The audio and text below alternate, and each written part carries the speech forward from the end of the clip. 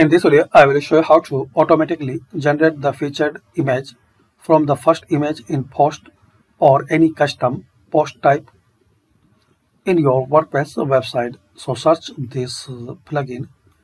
It's a very useful and popular and easy to use to automatically generate the featured image. Just install and activate. Search this plugin and install and activate now here. Now after activation in this uh, left side panel you will see auto featured image. Click on generate image. Here are some settings and customization. One percent of your post have a featured image. So post type select here and these all options are pro so if you are using this uh, free plugin so you can select here post or pages. Now click on settings.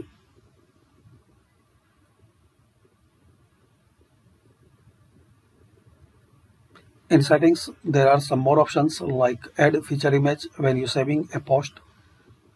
Turn on to automatically add featured image when saving a post. And if you are beginner, so leave as default these old settings.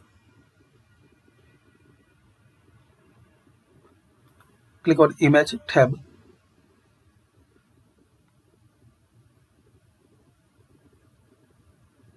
You can select background color, it's Pro font settings, text settings, and there are some more options. In image, guys, you will see here preview how is your featured image is display. You can change color and settings from here.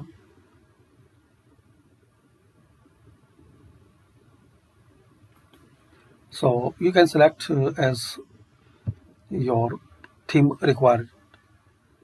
After that click on save. So this is the guys useful plugin to add auto featured image. Thanks for watching and please share like and subscribe the channel for more useful videos